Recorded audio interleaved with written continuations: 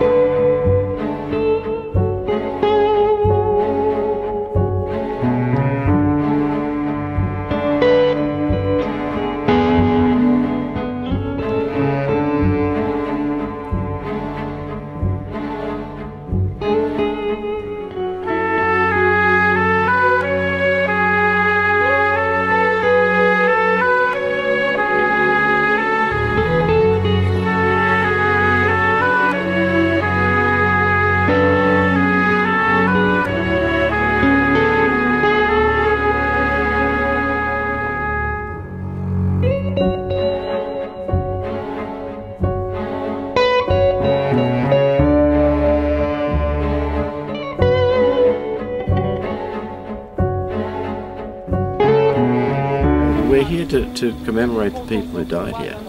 We're not, that's why we're here.